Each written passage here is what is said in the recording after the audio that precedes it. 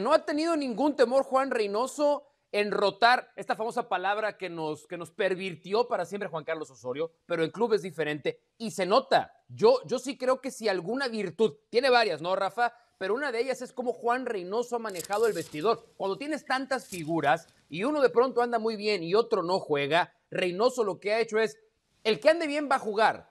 Pero si tengo 16 futbolistas que andan bien, pues también ellos van a jugar. Y eso, Rafa, no es sencillo de hacer. Y Reynoso le ha dado una excelente manera de identificar a los que en cada partido le funcionan mejor.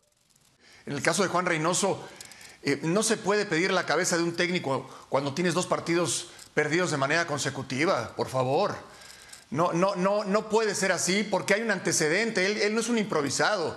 Él trabajó, ya lo decía Rafa, en Perú. En México con Puebla hizo muy bien las cosas. O sea, uno tiene que analizar el paso a paso. No podemos decir es que se tiene que ir Juan Reynoso, sino se, tendrán que ir todos los técnicos del mundo. Y Juan Reynoso corrigió, y es cierto, metió en cintura al equipo a partir de que se paró al, al cabecita, aunque haya sido un partido, ¿eh? y lo encauzó y lo encaminó. Y lo comprometió con el, con el resto del grupo. Y ha sentado a quien tenga que sentar y ha puesto a quien tiene que poner. Y les dice las cosas de frente en el interior del plantel. Y les llama la atención. ¿Recuerdan la jugada de jurado cuando la mata de pecho? Sí, sí, sí, no le gustó, no le gustó para nada. Y se lo dijo, y se lo dijo a él y se lo dijo delante del grupo. Y se lo dice a quien sea. O sea, es un tipo que tiene calidad moral y tiene autoridad para decirlo. Lo de las. eh, lo de los 10 partidos ganados es, es como una goleada, ¿no? Es consecuencia de. Nadie lo planea. Nadie lo planea. Pero bueno, ya le resultó. Y creo que de momento, sin importar lo que pueda venir, compañeros, hay que reconocer lo de Juan Reynoso. Eh, creo que no vamos a descubrir que cuando ganas 10 partidos seguidos quiere decir varias cosas, ¿no? Primero que tienes el plantel lo suficientemente bueno para que te rinda de esta manera, que tienes a un técnico que está identificado con una idea. Yo creo, Paco, porque a ver, yo aquí sí no tengo ningún problema en levantar la mano. No es que haya pedido la cabeza de Juan Reynoso, pero a mí sí me incomodó mucho el partido contra Pachuca. Yo sé que después él salió a la conferencia de prensa y hasta lo aceptó, porque también hasta eso hay que tenerlos bien puestos, como lo hizo Juan Reynoso, para decir, sí, hoy lo importante era el resultado, no el cómo. Yo era de los que, de la idea que en Cruz Azul, más allá del qué, el cómo también influye. Hoy todos, todos nos tenemos que tragar esas palabras, todos los que estuvimos de ese lado. Ahora, ustedes lo saben muy bien, esta racha de 10 partidos, y los jugadores lo saben también muy bien, no sirve de nada si eventualmente no se es campeón. Te lo dije el otro día, que para nada, no, no, no apostaría en este momento para que sea campeón. O sea, veo, por ejemplo, muy parejo y en su momento en el programa seguramente tocaremos el tema. América lo veo parejo. Hay un equipo que para mí, y te lo dije el otro día, Álvaro, y muchos, muchos dicen, ah, lo que pasa es que tú ya tienes eh, eh, tatuados los colores del León. Para mí el León, el León, en la medida que ha venido Claro, recuperando sí, su nivel claro, de claro, fútbol, claro. ese equipo va a ser, en mi opinión, el candidato para ser campeón. ¿Qué dice Este el maquinista? El maquinista Mauricio Pedrosa. El maquinista, ¿cómo, ¿cómo está la confianza del maquinista? Eh, hablé con el maquinista el fin de semana. Estaba, estaba listo para presentarse en exclusiva en fútbol picante este lunes. Pero quiere esperar después de la fecha FIFA. Siente que la fecha FIFA puede ser un parteaguas importante. Este tema del ritmo, hay equipos a los que les cae bien el descanso, hay equipos a los que les cae mal el descanso. Y el maquinista tiene miedo de que el descanso venga a romper un poco el ritmo con el que viene acarreando Cruz Azul. Así es que eh, probablemente haga su aparición hacia el final de la temporada. Ya se ha manifestado la gente de Cruz Azul que pide que no venga el maquinista. Sienten que es culpa del maquinista cuando se presenta a celebrar, a encabezar los buenos momentos de Cruz Azul. Sienten que él es la mufa. Eh, yo, yo confío en esta temporada en el maquinista. La verdad. Yo por eso le preguntaba a Rafa hace rato si había al- algo en especial, ¿no? Que, que- que le, que le gustara. Porque yo sí veo, sí veo que el jugador de Cruz Azul hoy puede ganar partidos de varias maneras. Tuvieron un- una racha en la que ganaron partidos 1-0, 1-0, 1-0, 1-0. Y contra Pumas tal vez no merecían ganar, ganaron. Contra Monterrey tal vez no merecían ganar, ganaron. Y cuando traes eso derecho, cuando lo traes bien, es bien difícil que equipos te saquen partidos importantes. A ver, Falta eh, mucho. Sí, Paco. Falta mucho, Álvaro, compañeros. Ese es. A ver, ¿tú le ves pinta de campeón? Sí. ¿Puedes asegurar que va a ser campeón? No. ¿Por No, qué? nadie. Porque falta mucho. Falta Y mucho. porque falta... tiene una historia Cruz Azul.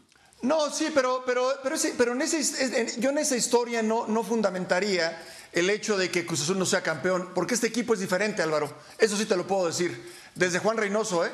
Juan Reynoso, los jugadores. Ojo que la temporada pasada contra Pumas, pues sí es diferente este equipo, pero, pero pensábamos que ese también.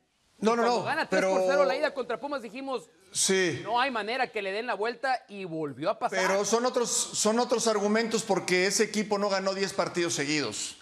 Y ese equipo, aunque era bien dirigido y jugaba bien al fútbol y dominó a Pumas en el partido de ida, el partido de vuelta fue irreconocible desde el técnico y los jugadores. No sé qué pasó. El Memo Vázquez se rascarle un poquito. La Copa con 13 partidos y luego perdió la final. Yo estoy de acuerdo, yo estoy de acuerdo, pero a mí me gusta mucho este equipo. No puedo garantizar que, que, vaya a ser campeón, porque hay que ver cómo reacciona, como bien dicen, después del parón, después de la fecha FIFA. Cómo cierra el torneo y cómo entra a la liguilla, que va a entrar a la liguilla. Yo creo que Juan Reynoso se está preparando. ¿eh? Yo sí creo que en el, en el puesto de contención aquí no es superior a cualquiera. El tema es que Romo te juega por la banda, te juega detrás del 9, te juega como un central, te juega como un líbero. Y yo creo que aquí no hay. Es, es, más complicado para él. De hecho, aquí de no hecho yo creo que jugar son. central, no te podría jugar adelante.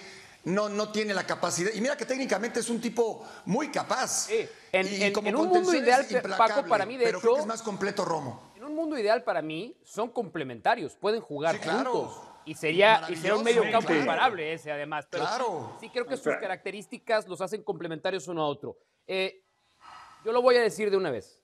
Hoy creo que si tuvieran que jugar la final jueves, domingo de esta semana, América Cruz Azul, yo hoy vería, hoy, hoy vería más sólido a Cruz Azul. Pero lo que me preocupa, no me preocupa, si fuera yo americanista, si en un hipotético caso que yo fuera. Tú eres americanista, Mauricio. no Hipotético empieces, Y Atlético caso, San Luis. eh, im- imaginación, ¿no? En un mundo imaginario. Eres si yo de la fuera América Potosí.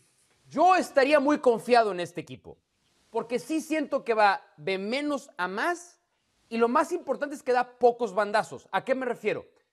En el partido contra Atlas, sí hubo momentos en los que creo que Cruz Azul incluso fue superado por Atlas y que Atlas tal vez mereció mejor suerte. Yo estaba repasando los juegos de América y de verdad encuentro muy pocos momentos en los que es superado por su rival. Creo que la Monterrey. América, si sigue esta inercia sólida, sí a lo lo mejor superó. en la jornada 17 mi respuesta es otra. Solo pudo ganarle por penal. Por penal ahí Monterrey a- al cuadro del América. Oye, pero qué cosas, ¿no? Qué cosas que a estos dos técnicos, a Solari antes de que llegara, ya le estaban diciendo que no tenía, eh, digamos que las, las credenciales para dirigir a la Tú no América. y confiabas Juan en Reynoso, él, Paco, ¿eh? Ya lo que. ¿Perdón? Tú no confiabas en él. No, no, no, perdón, ¿estás equivocado, Álvaro? ¿Y confiabas No, no, no, en él? Claro, yo, yo dije que por lo menos el beneficio de la duda y tenía, tenía el derecho a dirigir duda. a la América. Y tenía derecho a dirigir a la América, dirigió al Real Madrid. Yo nunca pule- puse en tela de juicio su, su capacidad, jamás. Yo sí acepto que reventé a Juan Reynoso. Yo sí. Mea culpa completamente. Paco me lo hizo saber, me reventó en su momento. No pasa nada. A veces No, nos pero tú no eres, y cuando nos tú no eres verdugo, hay que venir Mau. Tú no eres verdugo. Tú no eres Ni verdugo. hablar. Tú emitiste, tú diste una opinión. Tú no pediste su cabeza. Tienes Tú no pediste su cabeza, es diferente. Eh, yo- Gracias, los, verdugos, gracias. yo no los, no los trago a los verdugos.